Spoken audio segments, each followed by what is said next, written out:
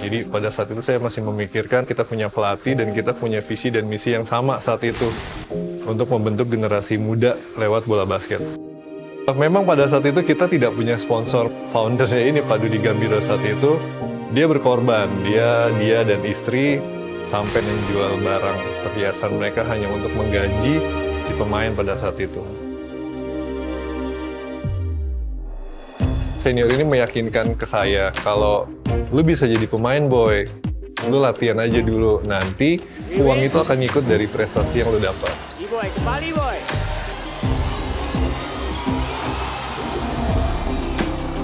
Yang ada hanya semangat untuk main basket aja karena terus terang untuk bermain di Satria Muda di level Kobatama waktu itu itu adalah suatu level yang tertinggi dan semua anak basket pengen lah main di situ gitu loh. Dengan gaji seadanya ya saya mau main di situ gitu loh. Saya kadang-kadang tiga bulan nggak digaji gitu. Dan begitu gajian baru dibayar paling setengahnya. Jadi ya udah kita nikmatin aja. banyak anak-anak muda kita saya kira belum mendapatkan wadah yang yang cukup. Gimana kita masukin ke Batama? Duitnya ada gak? Ya taruhannya paling rumah kita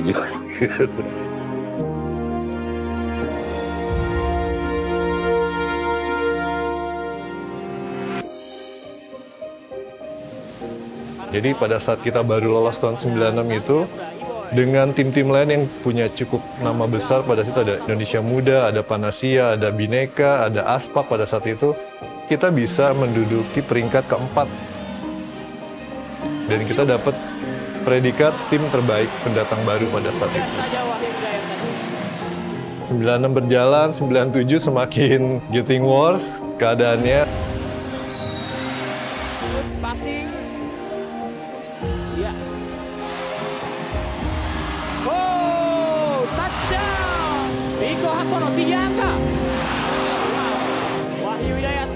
Ternyata ke- 98 itu semakin parah karena kita juru kunci waktu itu kita main tidak pernah menang dalam satu season. Kayaknya saya harus keluar dari sini, dari Satria Muda.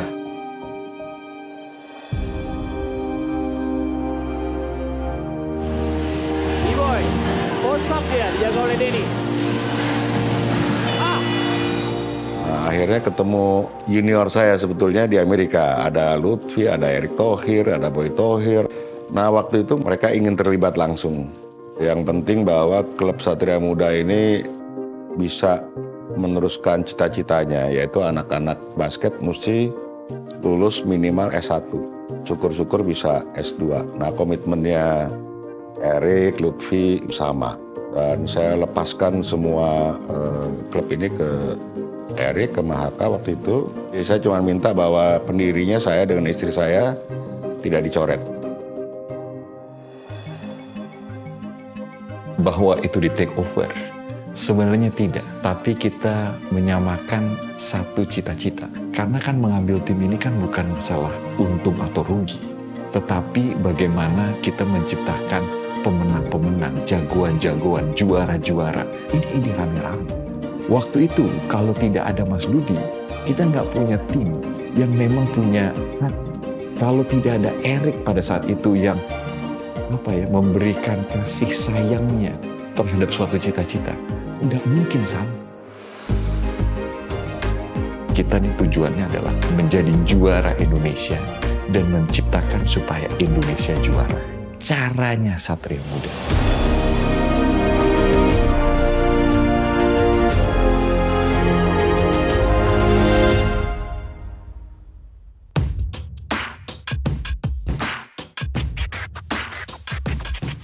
perbaikan semuanya gitu. Let's say kayak ada uh, kontrak diperbaiki. masalah manajemen tim juga lebih karena waktu itu kan boleh dibilang Mas Dudi kan manajemen uh, personal lah ya pribadi dia masalah latihan juga kan secara fasilitas kita meningkat. Impact-nya cukup besar 180 derajat ya, karena setelah ada perombakan dengan manajemen baru, di 99 kita juara.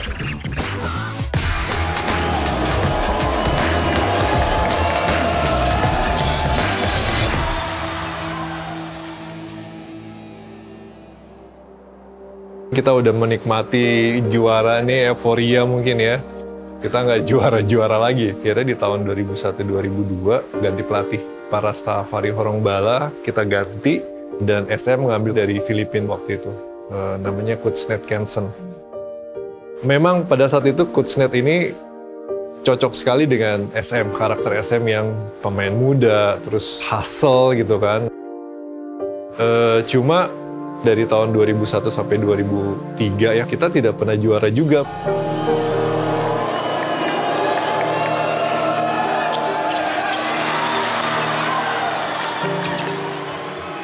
Ya, ini adalah tahun keempat berturut-turut di mana Satria Muda tidak berhasil mematahkan dominasi Aspak.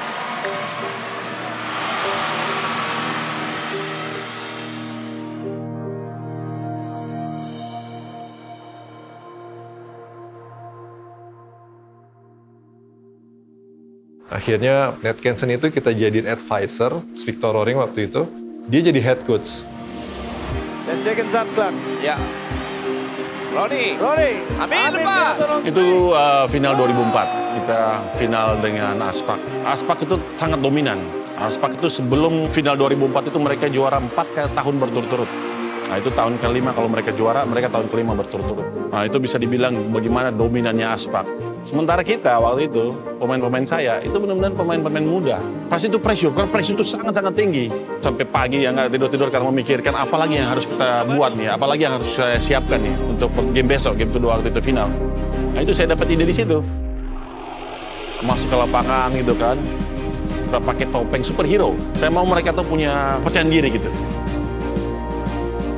Waktu dipanggil kan eh, Satria Muda, bukannya kita satu-satu turun, kita langsung rame-rame turun ke lapangan. Jadi udah pakai topeng semua. Begitu Aspak dipanggil satu-satu, yang hadir malah kaget ya, gini kaget semua. Dengan ini nih mereka ngerasa gue superhero mungkin ya gitu. Terus ditambah dengan semangatnya jadi eh, pas keluar meledak-meledak lah semangat anak-anak.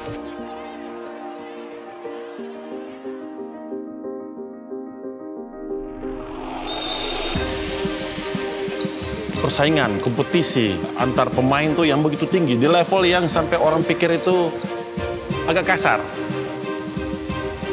Bagaimana latihan itu melebihi pertandingan itu sendiri. Ya, kerasnya, seriusnya, pressure-nya.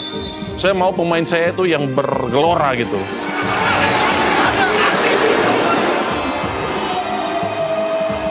Dulu dengan almarhum Amran dulu pertama kali saya latihan dua kali udah saya udah kelas sama dia. Dia yang paling sering protes ke saya, mulut tuh sampah katanya gitu. Karena setiap saya bikin poin depan dia, pasti saya saya mampusin dia mukanya. Mampus loh gitu. Dan dia tuh itu kesel membakar dia untuk juga membuktikan juga makin banyak sering kelas di lapangan tuh artinya rasa menangnya semakin timbul. Tim Satria Muda,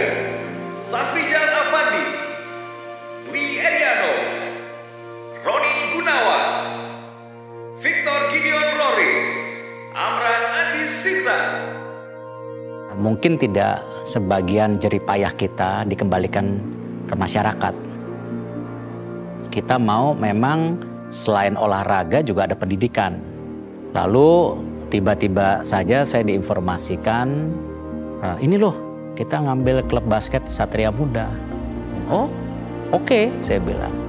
Ketika kita diberi kesempatan, kita harus memberikan yang terbaik. Dan insya Allah hasilnya baik. Nah, dari situ ya perjalanannya ya dimulai. Nah penting sekali the management, bukan hanya saya, the management pimpinan daripada klub Satria Muda harus menyatu dengan pemain termasuk pelatih menjadi sebuah keluarga besar. Tetapi tetap didasari profesionalisme, jangan dibalik. Karena banyak sekali istilah kekeluargaan disalahgunakan. Nah, ini yang kita tidak mau. Saya mau mendidik mereka sangat profesional, tapi kekeluargaan. Jadi emang betul-betul pada saat itu Pak Erick Thohir dia handle tim, dia memang turun ke lapangan, pure 100% dia turun ke lapangan. Kita latihan pagi, dia sebelum ke kantor dia mampir ke sini, dia cek anak-anak, sampai mau keberangkatan tim keluar kota bertanding, dia sampai antarkan kita ke stasiun. Sampai di kota tersebut kita tanding, Pak Erick Thohir juga udah ada di situ. Jujur memang figur itu apa namanya menurut saya yang membuat saya juga. Ya kan? Melalui semua itu tuh dengan keyakinan dengan lurus gitu ya. Nggak aneh-aneh. Motivasi Mas Erik semangatin Mas Erik ke kita ke saya membuat semuanya itu menjadi mudah. Saya bisa seperti ini karena Mas Erik juga. Jadi hmm, saya rasa hmm, kita akan support semua apa yang uh, Mas Erik telah kerjakan buat Satria Muda, buat kita semua. Saya berharap untuk teman-teman tim yang lain juga bisa membantu untuk mewujudkan juara Indonesia Indonesia juara.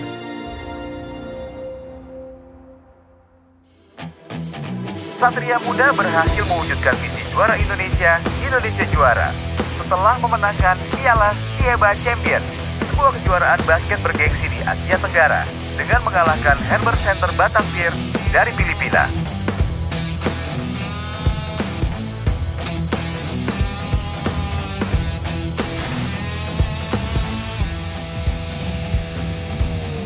Bikin rebound bagus, bikin steal kalau bisa, bikin bracket basket, dapat bola, lari.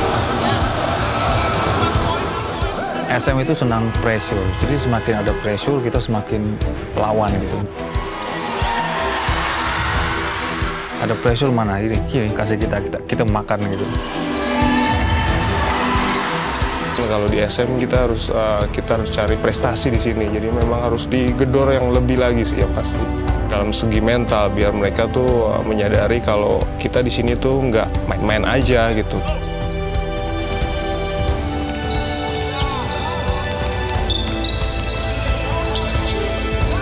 Yang saya lihat di sini adalah attitude-nya, kerja kerasnya sama mental nggak mau kalahnya. Di sini klub Satria Muda merupakan klub yang terbaik di Indonesia. Jadi kalau mau masuk sini lo harus kasih yang terbaik yang kamu punya. Jadi benar-benar habis-habisan deh. Mending begitu daripada setengah-setengah. Lebih baik nggak usah.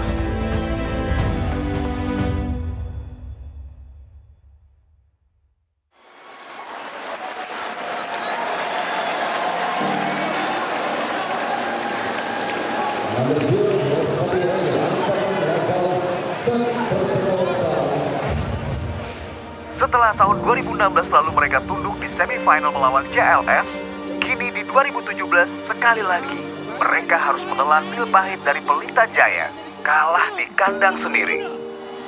Pelita Jaya Energi Mega Besar Jakarta menjadi juara IPL 2017. Dan ini adalah kekalahan pertama yang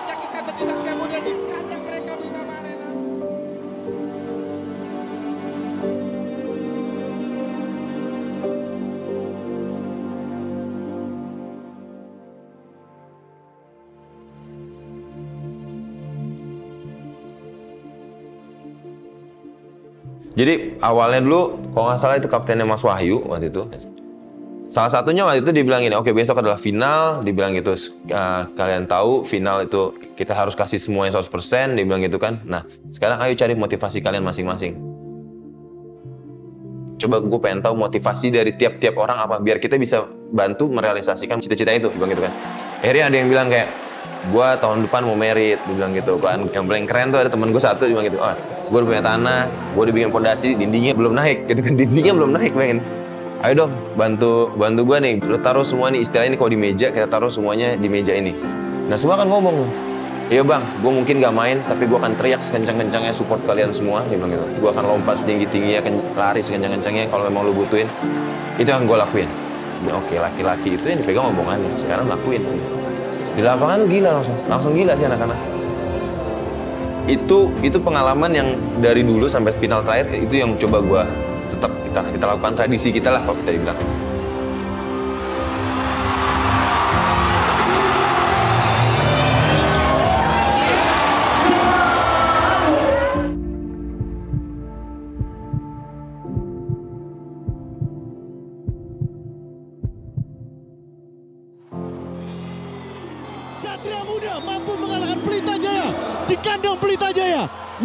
69-64. Satria Muda menjadi juara IBL Pertalite 2017-2018. Tahun lalu Pelita Jaya merayakan kemenangan mereka di kandang Satria Muda di Pritama Arena. How sweet it is. Revenge is, is sweet, man.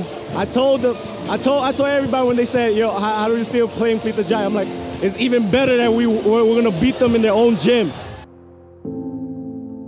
Di bawah kepemimpinan Yobel Sonda, kemenangan di 2018 ini, Satria Muda berhasil menggenapi gelar juara Liga Basket Indonesia yang ke-10.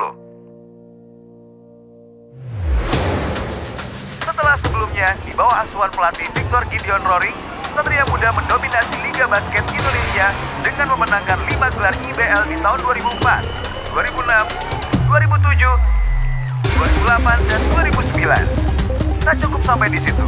Masa kemasan Satria Muda pun masih berlanjut di bawah kepemimpinan pelatih Octavio Romeli Tamtelahidu dan Jokor Daraka.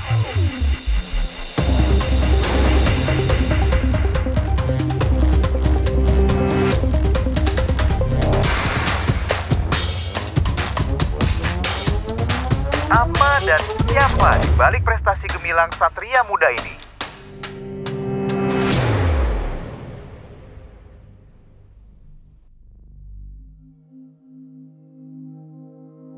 Sejak awal kita konsisten Satria Muda itu selain visinya memang kita ingin anak-anak yang kita bina selesai sekolah, bahkan juga kita tidak mau mereka terjebak dalam kehidupan-kehidupan yang tidak baik, contohnya drugs. Karena kita mau ciptakan insan-insan juara. Dan insan juara itu adalah insan yang bertanggung jawab. Mau main di Satria Muda, mesti sekolah. Tiap kita pertemuan, apalagi kalau ada anak-anak baru, dia selalu mengingatkan basket itu harus bagus, tapi jangan lupa kuliah harus juga. Fasilitas untuk kuliah tuh dia sangat support. Bahkan kalau izin untuk latihan asal untuk kuliah itu diizinin.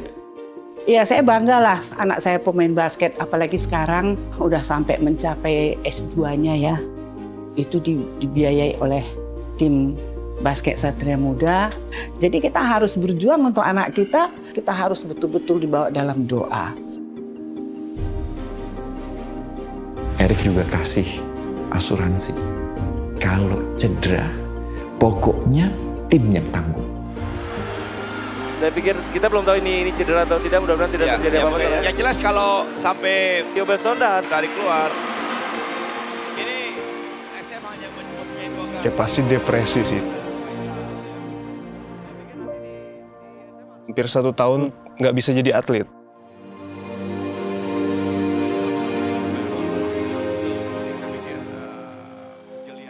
Habis cedera itu memang kan saya terapi ke Filipina berapa bulan di sana itu juga support dari manajemen bener-bener kerasa gitu. Jadi mereka tuh sangat membantu sekali gitu. Saya percaya kalau ada Tuhan dan rencana itu udah pasti yang terbaik buat saya. Lihat strategi apa yang akan diterapkan oleh Pelita Jaya dan Satria Muda. Para pemain Satria Muda telah kembali masuk ke lapangan. Dior Lohon, Jamar Johnson, Dodo Sitepu, Arki Dikania Wisnu, dan Hardianus. Kalau gue termasuk orang yang dekat banget sama keluarga gue. Jadi mereka lah yang selalu support gue sampai bisa sampai sekarang ini kan di sini. Apalagi terutama untuk masalah pribadi basket gitu, untuk mereka tahu. Nah hal-hal kecil-kecil itulah yang ternyata besar buat gue. Itu yang bisa jadi pegangan gue sampai sekarang ini. Gitu.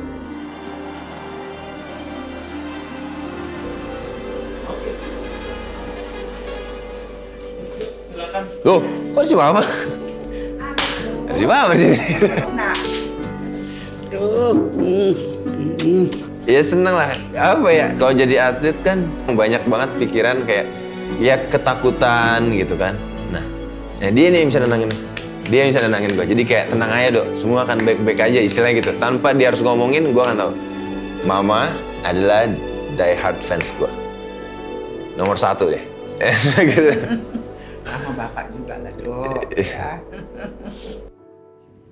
Let's go SM, let's go, let's go, let's go SM, let's go, let's go, let's go SM, let's go, let's go. Indonesia juara. Juara Indonesia.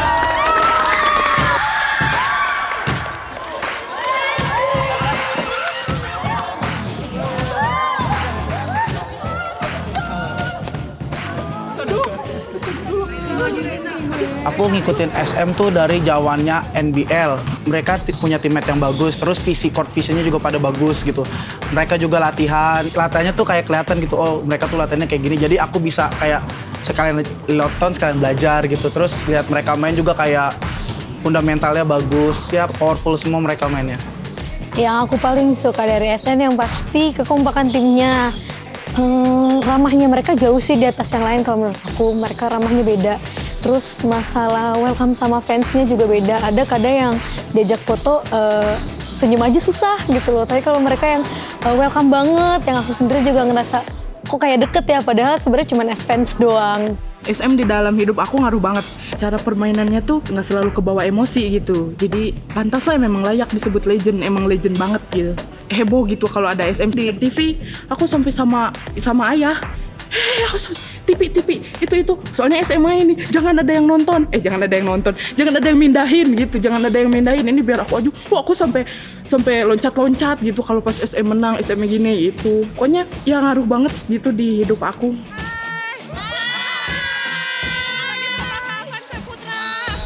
Gue sih ngerasanya ya SM tuh bener-bener wujud dari sebuah kerja keras. Kayak dulu kan mereka ya apalah SM gitu. Terus sampai akhirnya mereka bisa jadi juara. Terus punya fans banyak habis itu sempat gak juara tapi mereka tetap kerja keras dan sekarang akhirnya mereka juara lagi dan sukses kayak sekarang gini.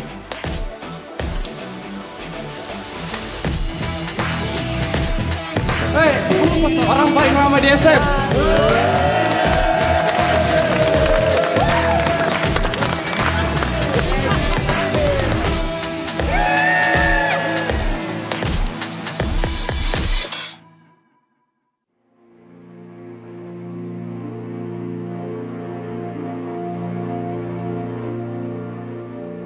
Kerasa gue terharu nih.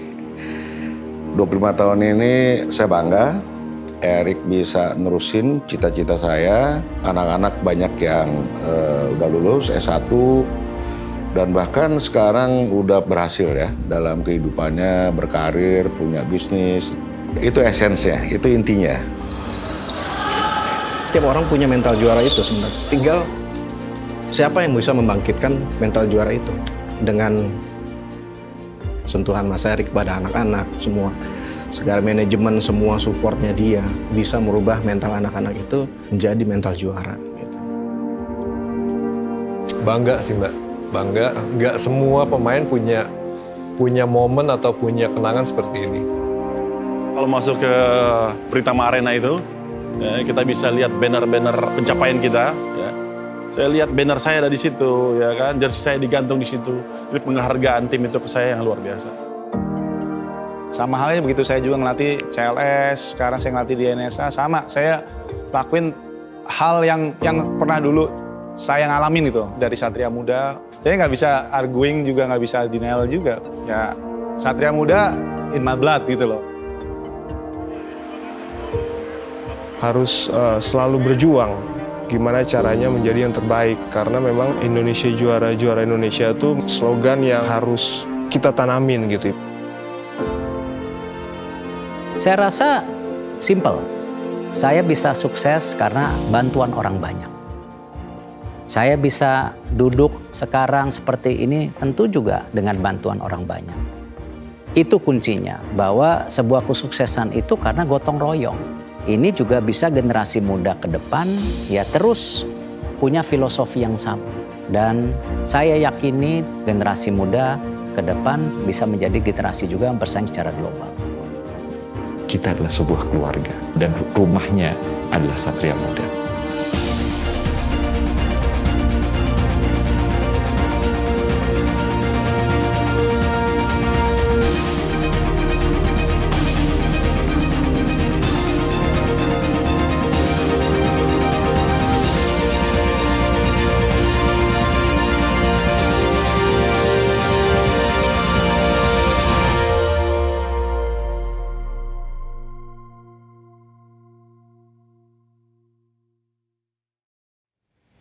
Saya mengucapkan selamat Satria Muda untuk ke-10 kalinya menjadi yang terbaik di Indonesia.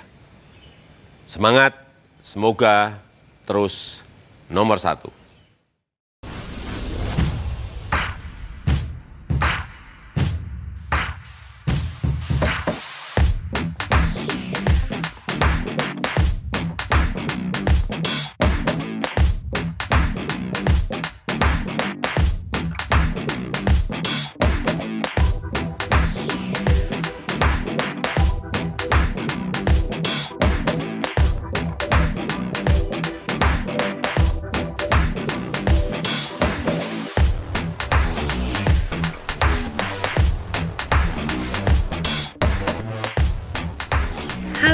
Saya Raisa dan saya mau ngucapin selamat ulang tahun yang ke-25 untuk Satria Muda Basketball Club.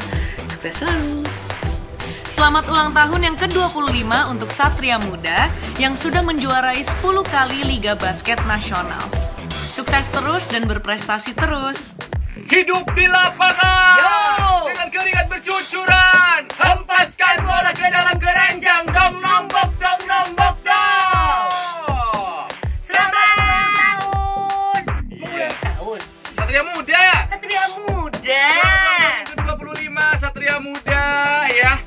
adalah legenda basket Indonesia. 25 tahun sudah menjuarai 10 kali Liga Basket Nasional. Oke. Terus, Satria Nombok Muda. terus. Halo, saya Sama Rizal. Saya mau mengucapkan selamat ulang tahun yang ke-25 tahun untuk Satria Muda. Semoga selalu menjadi klub yang terdepan dan selamat sudah 10 kali menjadi juara. Hai buat Satria Muda, saya Nadia Mulia mengucapkan selamat ulang tahun yang ke-25 bisa menjadi juara untuk ke-10 kalinya. Semangat SM! Offense, win a game. But defense, win a championship. That makes me all remember about Satria Muda. A great team, an awesome team. Happy anniversary yang ke-25. I'm proud to be a part of it. Bravo. Satria Muda, selamat ulang tahun yang ke-25 menjadi juara ke-10 kalinya. Semangat ya. Satria Muda 25 tahun anniversary 10 kali juara di Liga tertinggi Indonesia. Bangga banget hebat banget selamat congratulations Halo, selamat hari jadi yang ke-25 untuk klub basket Satria Muda. Dan saya ikut bangga atas prestasi kalian yang sudah menjadi juara sebanyak 10 kali di Liga Profesional Indonesia ini. Teruskan prestasimu, semakin solid, semakin kompak, berikan yang terbaik untuk bangsa dan negara ini, dan yakini Tuhan beserta kalian. Salam olahraga.